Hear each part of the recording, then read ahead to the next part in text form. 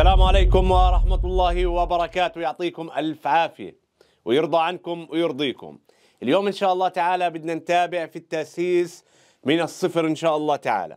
توقفنا في الحصة السابقة عند الكميات الأساسية في الكيمياء وتكلمنا عن الكتلة وتكلمنا عن الحجم وتوقفنا عند المول يا أستاذي. إيش يعني المول؟ وشو هو المول؟ المول هو الوحدة الدولية الوحدة الدولية التي تستخدم في قياس كميات المواد في التفاعلات الكيميائية وهو عدد أفوغادرو من الذرات أو الجزيئات أو الآيونات إذا إيش هو المول؟ هو عدد أفوغادرو من الذرات أو الجزيئات أو الآيونات كل واحد مول كل واحد مول من أي مادة يحتوي على عدد من الذرات أو الجزيئات أو الآيونات. تمام بيساوي لي عدد أفوغادرو اللي هو 6.02 في 10 قوة 23 تعالوا نشوف مع بعض معنى هذا الكلام. أستاذي المول الواحد من أي مادة؟ أي مادة؟ لما أجي أحكي لك مول واحد من الماء فهو بيحتوي على عدد من الجزيئات بيساوي لي 6.02 في 10 قوة 23 جزيء فعلى سبيل المثال لما أجي أحكي لك واحد مول من الصوديوم فهو بيحتوي على عدد من الذرات بتساوي لي عدد أفوغادرو اللي هو 6 فاصلة صفر اثنين في عشرة قوة ثلاثة وعشرين ذرة. واحد مول من الكربون. فهو بيحتوي على ستة فاصلة صفر اثنين في عشرة قوة ثلاثة وعشرين. طب لما أجي أقول لك 2 مول من الصوديوم على قديش بيحتووا على عدد من الذرات؟ بتقول لي المول الواحد بيحتوي على هذا العدد. طب الاثنين مول إذا نضرب باثنين هذا الرقم فبيطلع 12.04 في 10 قوة 23 هذا الكلام إن شاء الله تعالى راح نتكلم عنه بالتفصيل. اذا المول الوحدة الدولية ماشي؟ التي تستخدم في قياس كميات المواد في التفاعلات الكيميائية. وهو عدد أفوغادرو وعدد أفوغادرو 6.02 في 10 قوة 23 من الذرات أو الجزيئات أو الآيونات. كل واحد مول من أي مادة بيحتوي على عدد أفوغادرو 6.02 في 10 قوة 23 طيب حلو كثير. إلآن تعالوا نشوف مع بعض. بدنا نيجي نتكلم الآن عن الكتلة المولية. بدنا نيجي نتكلم عن الكتلة المولية ال molar mass. علاش بدنا نحكي عن ال molar mass؟ إيش يعني molar mass؟ ال molar mass كتلة المول الواحد من المادة وتقاس بوحدة إغرام لكل مول. الآن أستاذي الصوديوم الصوديوم أستاذي تمام. العدد الكتلي العدد الكتلي له 23 تمام؟ طيب حلو كثير. لو أنا وزنت 23 غرام 23 غرام من الصوديوم أنا بكون أخذت واحد مول. حلو كثير. لو أنا عندي يا أستاذ الكربون العدد الكتلي تاعه 12 لو وزنت نفس العدد الكتلي بالغرامات 12 غرام أنا بكون أخذت واحد مول من الكربون. طيب الآن المية اللي هو ال H2O ال H2O أستاذي مش عنصر عبارة عن عنصرين H و O. الآن أنا عشان أحسب قديش لازم أوزن من المية اللي هي اللي بدنا نتكلم عنها بالكتلة المولية. الكتلة المولية هي عدد ذرات العنصر الأول ضرب كتلته. زائد عدد ذرات العنصر الثاني ضرب كتلته. تعالوا نشوف مع بعض هذا الكلام. تعالوا نشوف مع بعض. الآن يا أستاذي عشان أحسب أنا الكتلة المولية لحساب الكتلة المولية من أي مادة؟ عدد ذرات العنصر الأول ضرب كتلته. زائد عدد ذرات الثاني ضرب كتلته. زائد الثالث ضرب كتلته. وهكذا. طيب تعال نشوف مع بعض.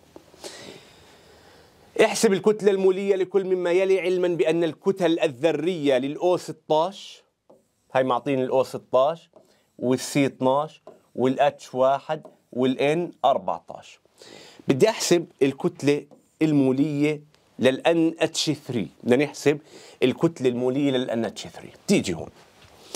الآن كم ذرة؟ ذرة واحدة. ضرب. كتلته. كتلة الآن معطيك إياها 14 واحد ضرب 14 زائد. عدد ذرات الإتش. الإتش كم حبة؟ ثلاثة. ضرب. كتلة الإتش واحد. وتساوي لي. واحد ضرب 14 14 زائد. ثلاثة ضرب واحد ثلاثة. 14 زائد ثلاثة 17 غرام لكل مول. تمام حلو كثير. يعني يا أستاذي الكتلة المولية شو معناها؟ معناها لو أنا وزنت 17 غرام من ال NH3 17 غرام من ال NH3 من الأمونيا أنا بكون أخذت مول واحد من الأمونيا. طب لو وزنت 34 اللي هي ضعف ال 17 قديش بكون أخذت؟ 2 مول وهكذا. طيب بدي أحسب الآن الكتلة المولية للميثان لل CH 4 عدد ذرات ال C واحد ضرب. كتلة ال C بعطيك إياها 12 زائد عدد ذرات ال H 4 ضرب كتلة ال H واحد تساوي. واحد في 12 12 زائد أربعة في واحد أربعة وتساوي 16 غرام لكل مول. لو أنا وزنت 16 غرام من الميثان أنا بكون أخذت مول واحد من الميثان. طيب CH3OH اللي هو الميثانول. عدد ذرات ال C كم حبة حبة؟ ضرب.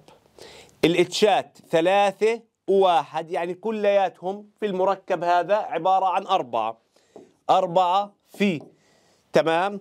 بس هنا واحد في 12 ما كتبنا واحد في 12 يلا تعال. عدد ذرات السي؟ واحد. في كتلة السي؟ 12 زائد عدد ذرات ال H ثلاثة وواحد أربعة. أربعة في كتلة ال H واحد. زائد لسه في عندك أو عدد ذرات ال O كم حبة؟ حبة. في كتلته 16 هاي اللي معطيك إياها. الآن يا أستاذي واحد في 12 واحد ضرب 12 12 زائد. أربعة في واحد هاي أحلى أربعة. زائد. واحد في 16 هاي 16 حلو كثير. 16 و4 20 و12 32 30 32 غرام لكل مول. 100 100 طيب حلو كثير. الإن 2 نحسب نحسب يا أستاذي اللي هو إيش؟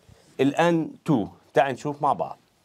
الآن 2 صديقي العزيز عدد ذرات الان 2 في كتلة الان معطيك إياها 14 2 في 14 28 غرام لكل مول. هاي هي الكتلة المولية الكتلة المولية. الكتلة المولية اللي زي ما إحنا شايفين أستاذي نتكلم فيها عن أكثر من ذرة بالنسبة للكتلة المولية. العدد الكتلي العدد الكتلي اللي هو للعنصر الواحد العدد الكتلي اللي هو للعنصر الواحد. تمام أستاذي؟ طيب حلو كثير. تعال نشوف الآن مع بعض كيف يمكن أني أنا أحسب عدد المولات. كيف أنا يمكن أحسب عدد المولات؟ عن طريق. هسا إحنا قلنا قبل شوية قلت لك أنا لو وزنت 32 غرام من الميثانول أنا بكون أخذت قديش؟ واحد مول. طب لو أنا وزنت 64 كم مول بكون أخذت؟ 2 مول. أها بالمنطق. طيب حلو كثير. يعني أنا شو بحكي قاعد؟ عدد المولات قانونه اللي هو الكتلة على الكتلة المولية. طيب واللي هو يا أستاذي العزيز تعال هون. عدد المولات n number of mole. بتساوي لي الكتلة اللي هي الماس على الكتلة المولية ال molar mass Mr. طبعا يا أستاذي عدد المولات يقاس بوحدة مول والكتلة بالغرام والكتلة المولية غرام لكل مول. حلو كثير. حبيت. طيب تعال نشوف كيف بدنا نحسب عدد المولات. عينة من مركب ما. عينة من مركب ما. كتلتها أربعة غرام. إذا هاي إيش صديقي؟ هاي ال m. حلو. والكتلة المولية للمركب معطيك ال Mr. Mr معطيك إياها 40 احسب عدد المولات. طيب عدد المولات. أخوي n تساوي m على Mr. الكتلة قديش أعطاك إياها؟ أعطاك إياها أربعة. أربعة على الكتلة المولية قديش أعطاني إياها؟ أربعين.